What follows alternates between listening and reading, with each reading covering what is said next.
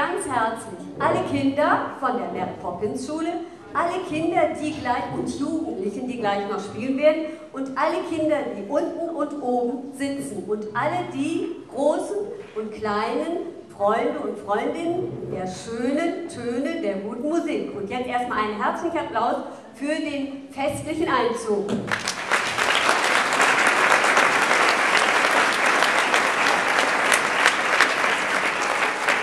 Dies ist eines der neuesten Projekte, angeschoben von Jürgen Molacik, dem stellvertretenden Leiter der Musikschule Spandau, dann allerdings dann unter der Leiterin von, Leitung von der Dorothee Witt, unserer Fachbereichsleiterin für Streichinstrumente.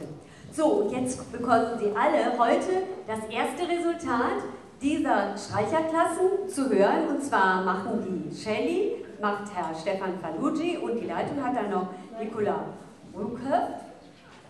Und dann wissen wir ja alle, dass wir das Glück haben werden, die Wolkenprinzessin zu hören. Ich werde dazu dann nicht noch etwas sagen, außer dass, wenn Sie nicht selbst diese schönen orangenen Zettel haben und es nicht wissen, es ist eines der Lieblingsmärchen von Nelson Mandela, der uns ja nun gezeigt hat, dass alle schönen Künste auch was wichtig Politisches haben.